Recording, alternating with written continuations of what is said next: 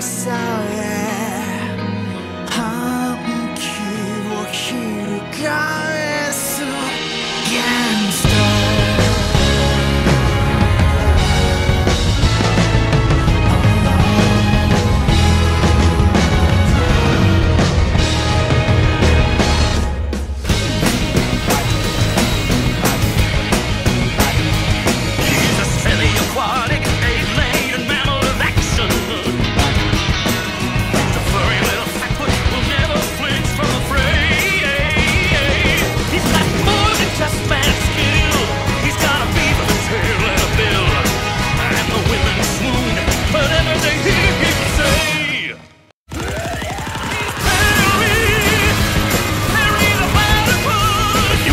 him Agent P. I said you can call him Agent P.